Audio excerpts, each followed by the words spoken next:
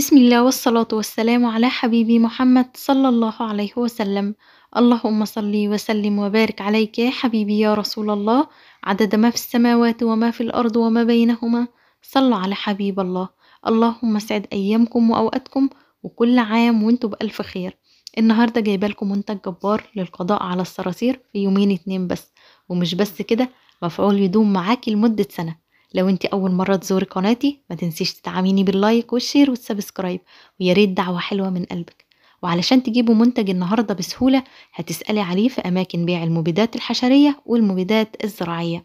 وممكن تلاقيه متوفر في بعض الصيدليات. ولو انت بقى من داخل كفر الشيخ وبتتفرجي على الفيديو هتلاقيه متوفر في محلات البهدلي اللي في دخلة المزلقان الوسطاني. يلا بينا نعرف تفاصيل أكتر عن طريقة الاستخدام وبنستخدمه لإيه وكل طرق السلامة وإزاي نتخلص من كل كمية الصراصير في أقل وقت. المنتج بتاعنا النهاردة مش بس بيخلصك من النمل والصراصير لأ ده بيخلصك من بعض الحشرات الزاحفة برضو. ومش بس كده الفلاحين كمان بيستخدموه في التخلص من القراض من مواشي وليه استخدامات كتيرة جدا مدونة على العلبة بتاعته من جوه ومن بره. كمان لما تيجي تستخدميه يفضل إن ما يكونش فيه أطفال جنب منك. هو ملوش ريحة نفاذة ولا حاجة ولكن برضه حفاظا على سلامة الأطفال يكونوا مش متواجدين أثناء استخدام العجينة.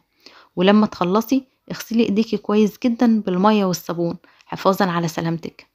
ده شكل العبوة زي ما أنتوا شايفين كده وشكلها من بره بيكون آه بالشكل اللي أنتوا شايفينه تقدروا انكم تاخدوا لها سكرين علشان لو حابين تجيبوا المنتج.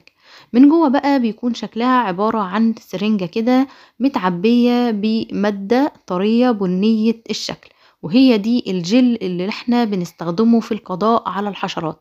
أنا بالنسبة لي بسميها عجينة سحرية لأنها بجد مفعولها قوي جدا. طريقة الاستخدام بقى سهلة وبسيطة وأهم حاجة إن إحنا نستهدف الأماكن الصح اللي بيكون متواجد فيها الصراصير.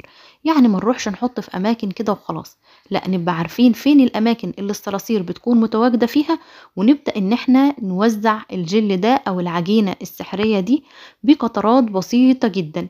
يعني قد راس الدبوس كده قطعة صغيرة بسيطة هتحطيها بقى لو في المطبخ بتاعك الخشب تبدأي إنك توزعيها في الارفف من فوق في قاع الدرج من تحت الإدراج اللي بتكون متواجدة في المطبخ تحت طبعا الحوض التقفيلة اللي بتكون موجودة تحت الحوض ورا البوتاجاز ورا الغسالة دي أماكن بتجمع فيها الصراصير.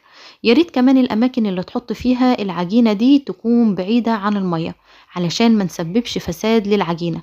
يعني هتحاولي قدر الإمكان لما تحطي قطع من العجينة دي تحطيها في أماكن ما يكونش المية طيلاها بالطريقة العامية كده. يعني ما يجيش عليها مية خالص. وإن شاء الله خلال يومين اتنين بس هتكوني متخلصة من كل الصراصير. سواء كانت صراصير كبيرة صراصير صغيرة بإذن الله هتتخلصي منها نهائيا. سعرها مش غالي جدا تقريبا عاملة ستين جنيه. زي ما قلت لكم هتلاقوها متوفرة في الأماكن اللي أنا ذكرتها. هاتوها وعلى ضمانتي وإن شاء الله هتجربوها وهتعجبكم جدا جدا. آه بتقضي على الصراصير مش إن هي مثلا الصراصير بتهرب من المكان لأ ده هي بتقضي عليهم تماما. آه في خلال ساعات من الاستخدام على طول و تاني يوم على طول يعني انت لو حطيتيها تاني يوم بقى لأن الصراصير معظم الوقت بتتحرك بالليل هتلاقي إن كمية كبيرة من الصراصير ماتت. ده كان الفيديو وده باختصار طريقة استخدام منتج النهاردة. ما تنسوش بقى تدعموني بال like وال share وال subscribe وما تنسوش دعوة حلوة من قلبكم وأشوفكم على خير في ريفيو عن منتج جديد. مع السلامة.